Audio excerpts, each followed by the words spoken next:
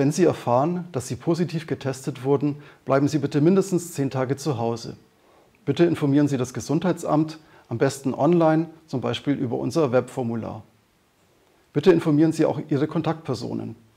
Auch zu Hause müssen Sie Hygieneregeln einhalten, um Ihre Haushaltsmitglieder nicht zu gefährden. Bei Symptomen, bei behandlungsbedürftigen Symptomen informieren Sie bitte Ihren Hausarzt.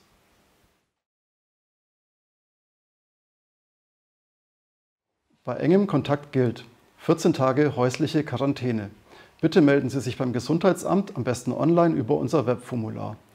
Bitte halten Sie sich auch zu Hause an die Hygieneregeln und beobachten Sie täglich Ihren Gesundheitsstatus.